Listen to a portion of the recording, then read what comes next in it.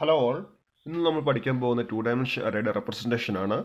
To dimension array എന്ന് വെച്ചിട്ടുണ്ടെങ്കിൽ അതിനകത്ത് റോയും ഉണ്ടാകും കോളവും ഉണ്ടാകും സാധാരണ വൺ ഡയമെൻഷൻ അറേയിൽ ഒരു കോളം അല്ലെങ്കിൽ റോ മാത്രമേ ഉണ്ടാവുള്ളൂ. ടു ഡയമെൻഷൻ അറേയിൽ അതിനകത്ത് റോയും ഉണ്ടാകും കോളവും ഉണ്ടാകും എക്സാമ്പിൾ ആയിട്ട് പറയുകയാണെങ്കിൽ ഒരു മെട്രിക്സ് എന്ന് പറയുന്ന ഒരു ടു ഡയമെൻഷൻ അരയാണ് ടു ഡയമെൻഷൻ അറേയുടെ ജനറൽ സിൻഡാക്സ് നോക്കാം. Data type space array name row size and column size semicolon okay ഒരു അരയുടെ റോ സൈസും കോളം സൈസും നമുക്ക് റെപ്രസെന്റ് ചെയ്യണം. ഓക്കെ ഇവിടെ ഒരു എക്സാമ്പിൾ പറഞ്ഞിട്ടുണ്ട്. ഇന്റ് എ ഓ ഫിഫ്റ്റി ഫിഫ്റ്റി അതിന്റെ മീനിങ് എന്ന് പറയുന്നത് എ എന്ന് പറയുന്ന ഇൻഡിജ അരയ്ക്ക് ഫിഫ്റ്റി റോയും ഫിഫ്റ്റി കോളവും മാക്സിമം ഉണ്ടാവും. ഓക്കെ ദെൻ ഇവിടെ നോക്കിയേ.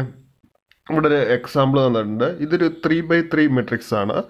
ഇതിന്റെ row three row size three ആണ്. ത്രീ റോസ് ഉണ്ടാവും.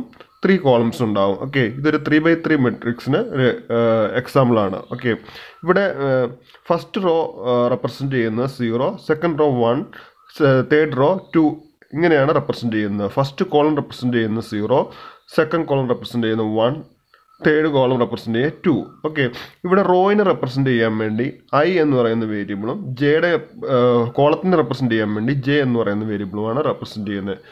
ദാറ്റ് മീൻസ് ഒരു ടു ഡയമെൻഷൻ അരയ്ക്ക് രണ്ട് ഫോർ ലൂപ്പുകൾ ഉണ്ടാവും. അതിന്റെ പ്രോഗ്രാമാറ്റിക് റെപ്രസെന്റേഷനിൽ അതിന്റെ റോ റെപ്രസെന്റ് ചെയ്യാൻ വേണ്ടി ഐ എന്ന് പറയുന്ന ഫോർ ലൂപ്പും കോളം റെപ്രസെന്റ് ചെയ്യാൻ വേണ്ടി ജെ എന്ന് പറയുന്ന ഫോർ ലൂപ്പുമാണ് നമ്മൾ യൂസ് ചെയ്യുന്നത്.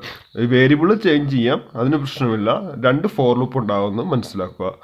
ഓക്കെ ഇത്രയും കാര്യമാണ് ജനറൽ ആയിട്ട് നമ്മൾ അറിഞ്ഞിരിക്കേണ്ടത് ഒരു ടു ഡയമെൻഷണൽ അരയിൽ ഓക്കെ താങ്ക്